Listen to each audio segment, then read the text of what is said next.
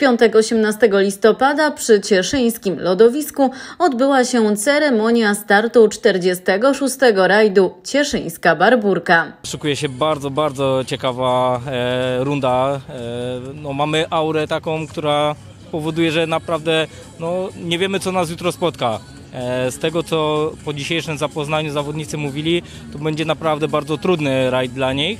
E, o zmiennych warunkach, no a tak naprawdę rano zobaczymy, co na tych odcinkach specjalnych będzie, e, czy, czy zawita śnieg, czy, czy lód. Zobaczymy. No to taka pora roku, także to trzeba się z tym e, liczyć. No jak najbardziej tak. Myślę, że to taka prawdziwa runda barburkowa, zimowa. E, dawno takiej nie było, wyczekiwaliśmy takiej, no i myślę, że wspaniała zabawa będzie. Proszę nam powiedzieć, ile załóg w tym roku? E, 108 załóg zgłosiło się do rajdu. E, 107 załóg bodajże wystartuje w dniu jutrzejszym.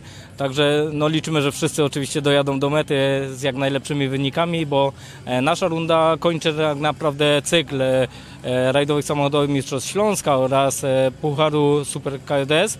E, więc tak naprawdę rozstrzygać się będą tutaj tytuły mistrzowskie w tym sezonie. No i to tym bardziej powoduje fascynację tego rajdu.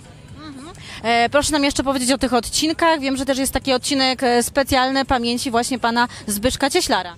Jak najbardziej właśnie dokładnie tak. Dzięki e, zgodzie partnerów naszych, którzy e, gdzieś tam e, mieli już ten odcinek wcześniej nazwany swoją e, firmą, dzięki ich tak naprawdę zaangażowaniu udało się nazwać również ten OS dla pamięci Zbyszka Cieślara. E, i jest to OS e, w Godziszowie, Bładnicach Dolnych. E, Bardzo ciekawy OS ze zmienną charakterystyką, bardziej płaski w porównaniu do, do drugiego OS-u.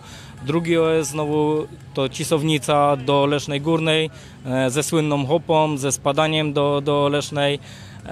Także naprawdę będzie, będzie, będzie bardzo, bardzo gorąco mimo takiej zimowej aury. Czyli co, można gdzieś tam na tych odcinkach kibicować?